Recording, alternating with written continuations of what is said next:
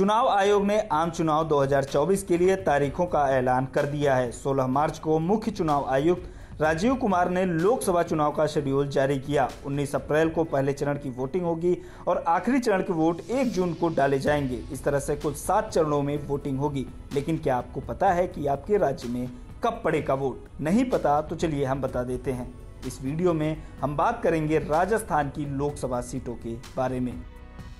राजस्थान में कुल दो चरणों में लोकसभा के चुनाव होंगे। पहले चरण में 19 अप्रैल को गंगानगर, बीकानेर, चुरू, झुंझुनू, सीकर, जयपुर रूरल, जयपुर, अलवर, भरतपुर, करौली, धौलपुर, दौसा और नागौर में वोटिंग होगी। जबकि दूसरे चरण में 24 अप्रैल को टोंक, सवाई, माधोपुर, अजमेर, पाली, जोधपुर, बाड़मेर, जालौर, उदयपुर, बांसवाड़ा, चित्तौड़गढ़, राजसमंद, भीलवाड़ा, कोटा और झालावाड़ बारा में वोटिंग होगी।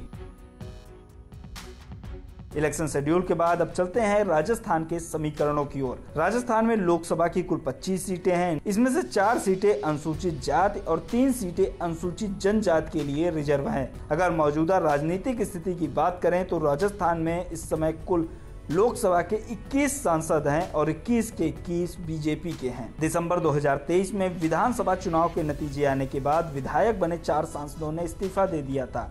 इसमें से राज्यवर्धन सिंह राठौड़ दिया कुमारी और बाबा बालकनाथ तीन सांसद बीजेपी के, जबकि एक सांसद राष्ट्रीय लोकतांत्रिक पार्टी के हनुमान बेनीवाल थे।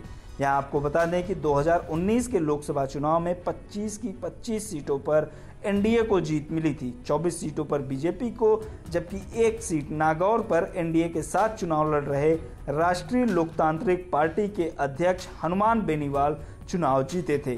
इस बार हनुमान बेनीवाल बीजेपी से अलग होकर चुनाव लड़ रहे हैं, जबकि कांग्रेस को एक भी सीट लोकसभा चुनाव में राजस्थान से नहीं मिली थी, जबकि 2018 से 2023 तक राजस्थान में कांग्रेस की सरकार भी थी।